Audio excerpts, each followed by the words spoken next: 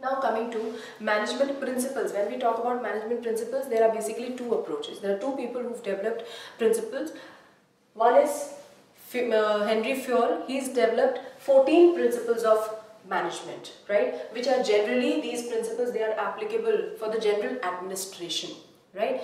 And there was there's another person that is Taylor's uh, principle. He's basically worked on scientific management okay and these principles and uh, Taylor's principles are basically meant for they are more for the operational or supervisory level of management right coming to Fayol's principle first principle when we talk about is division of work and specialization now as an organization grows in size as an organization grows in size it becomes important to divide the entire work into smaller pieces right? And each piece of the work is going to be handled by a specialist or a trained employee. Now, if a specialist or a trained employee is handling only his part of the job, right, he will be able to do that job in the most effective and efficient manner. We take the example, I think I've taken this example before as well. We take the example of uh, your class bulletin board. Right? I do that as a teacher in my class, right? If I have to design the uh, class board, right? Now, a border has to be put up. That is something a person who's good at artwork will be able to do it really well, right? So I give it to a person who's good at that, right? Then some written material is required, all right? A person who has a good handwriting will be given the task of writing that material, and a person who has a niche for, I mean, who's creative, who's who has a who has a niche for creative writing, who can write well on his own, he'll be given the task of actually giving the material to the person who's going to pen it down on the paper right? Then some caricatures and some other uh, drawings and everything which is to be made that again is going to be given to the person who's good at who has who has uh, who has a penchant for drawing right? Then, then a person who uh, has a sense of putting up the board I mean क्या चीज़ कहाँ लगनी चाहिए? कैसे अच्छा लगे the basic aesthetic sense who has a good aesthetic sense I am going to give him the task of putting up the board कि कौन सी कैप्शन कहाँ जाएगी, कौन सी ड्राइंग कहाँ जाएगी राइट right? हेडिंग हम कहाँ लगाएँगे, कैसे लगाएँगे? राइट एंड नीटली जो कि मेरा प्लास्टिक शीट उसके ऊपर पिनअप कर सके. So what I what have I done I am explaining it to you at a very micro level what have I done I have divided the entire work of putting up the class board into smaller task where and each task is being taken care of by a specialist and what is my end result that I am going to get a beautiful board done right at the least possible cost ठीक है? Cost क्या होगा यहाँ पे?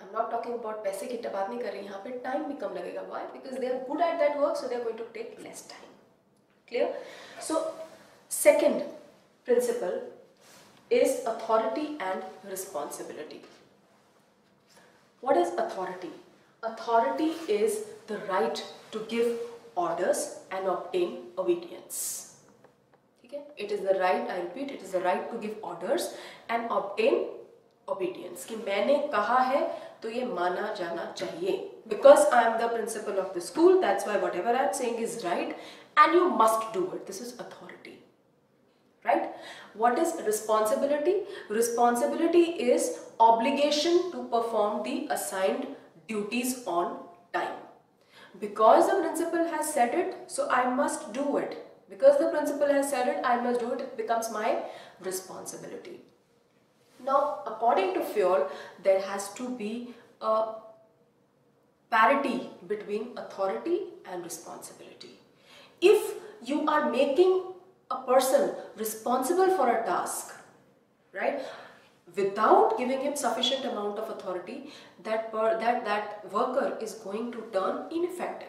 That worker is going to be turned ineffective right? So therefore if you are assigning responsibility of a task he must be given sufficient amount he must be given sufficient amount of authority for him to be effective and efficient. For example if the production manager is to achieve a target of manufacturing about 10,000 units in a month right it is his responsibility to achieve this target right? But if he is not given the authority to file for requisition of tools and material right then he is going to turn ineffective. He will not be able to achieve his target on time because every time for that he will have to achieve uh, he will have to approach his top manager. So if you are giving him this kind of a responsibility you must give him the required amount of authority so that he can make a requisition for raw material and tools at the desired time Similarly, like we say, responsibility without authority has no meaning. Similarly, authority without responsibility is also meaningless. It may be misused. It may be misused. If you have given the authority to a sales uh, sales manager to given uh, give a credit period of 60 days, ठीक है अगर उसको responsibility नहीं दी है कि with in this sixty days अगर पैसे आ जाने चाहिए right if you have given him sales manager requires to offer a credit period for 60 days to negotiate a deal with the buyer, he or she should not be given the authority to offer a credit period of 100 days. He may misuse this authority. So there has to be just a right combination of authority and responsibility अगर किसी को responsibility दी है तो उसके साथ उसको sufficient amount of authority भी दी जानी चाहिए so that he is able to carry out that task in the most manner Another thing, authority can be delegated, but responsibility, you can never absolve yourself from the responsibility. Next, discipline. What is the meaning of the word discipline? You must have heard this. Being in school, you must have heard of this word umpteen number of times. Discipline. It means obedience, obedience to organizational rules and employment agreement which are necessary for the working of an organization. Now, discipline requires good superiors at all levels, clear and fair agreements, judicious application of penalties. When we say discipline, we say obedience of organizational rules and employment agreement, right? Let us talk of a situation wherein uh, the workers okay, of an organization, they have agreed that they are not going to charge any extra money for overtime in an organization to help the organization come out of a particular loss. And in return of which the organization has promised, the day it starts to make profits, it is going to give 5% of its profits to its workers as bonus. It is going to distribute 5% of its profits to the workers as bonus. Now, the principle of discipline would require that if the workers are abiding by these terms and conditions, then the management must also abide by these terms and conditions. That is, when they start earning profits, they must give 5% of their profits to the workers. It has to be not only, not only for the workers, but also for the management. Then comes unity of command. Now, principle of unity of command means that each worker must receive orders only from one boss. Because if I am receiving orders from two bosses, okay, I am going to be in a fix. The worker is going to be in a fix कि किसका काम मैं पहले करूं. Boss ए बोलेगा, पहले मेरा काम करो, बॉस बी बोलेगा, पहले मेरा काम करो. But what about the employee for him both are at par A and B are at par right so to avoid this kind of situation Fayol said that each employee must receive direction from one boss only clear then comes the principle of unity of direction this principle states that all the units of an organization, all the units of an organization should be working in the same direction that is towards the accomplishment of organizational goals. For example, if let's say an uh, organization or a company is manufacturing motorcycles and cars right? So these two products okay they should be taken up as two different units. They should be taken up as two different units having their own goals and objectives right? But at the same times they both the units should be moving in the same direction. That is towards the accomplishment of the goals and objectives of the organization as a whole right? Then subordination of individual interest to general this is a very important point. At all points of time, you know, the whatever decisions, all decisions that are being taken, they should be taken keeping the organization's interest in mind. They should be taken keeping the organization's interest in mind. That means organizational interest is always going to take precedence over individual interest.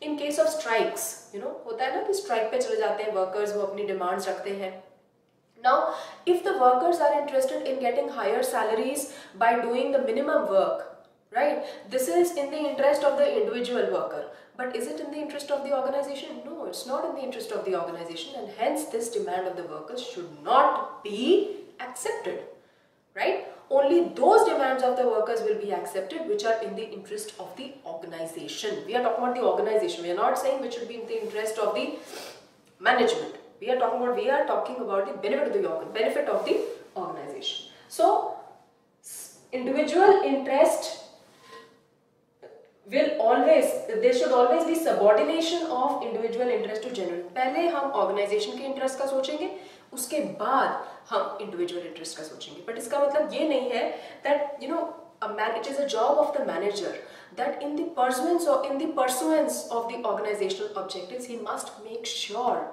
that he is able to help you know the employees achieve their own personal goals. When we talk about their own personal goals meaning their social objectives of being recognized for the good work being done career growth objectives that is wherever it is possible if he is working really well then to give him promotions and recognition at the right time so Individual, there should always be subordination of individual interest to general interest. Next, remuneration of employees. When we talk about remuneration of employees, it's important that the employees of an organization, the they are being given salaries which are just and equitable. Just and just means he gets what he deserves right? The kind of the services that he is rendering right? He should be compensated for the services that he is rendering to the organization. And when we say equitable just and equitable equitable means he should be given a competitive salary meaning if a production manager is being in our company is being given a salary of let's say about 2 lakh rupees per month right it should be competitive salaries that means in the same industry in other companies also the production managers are being given the same salary or maybe less right? So he should be given just an equitable salary. Next, this is a very very important topic, centralization and decentralization. Centralization means retention of authority at the top level of management. Retention of authority at the top level of management meaning all decisions are taken up by the top level of the management only be it a big decision or a small routine decision all decisions are taken by the top level of management and decentralization of authority means delegation of authority at all levels of organization you give the desired level of authority to all the three levels of management. That means top level management is only going to retain the authority to frame the broad uh, objectives and goals of the organization for framing the policies of the organization. Middle level management okay is going to have the authority for translation of those objectives and goals into the work which is required to be done right and the supervisory level of management will also have the required level of authority. Now in any organization there shouldn't be a complete centralization or complete decentralization. Fayol says that organization should have a balance between complete centralization and decentralization. Like i just said that the major decisions that is of setting goals and objectives of an organization or formulation of plans and policies should always be retained by the top level management, right? but there can be a policy for decentralization or for the activities of routine work such as purchase of raw material, assignment of targets to workers, etc. These can be decentralized. Then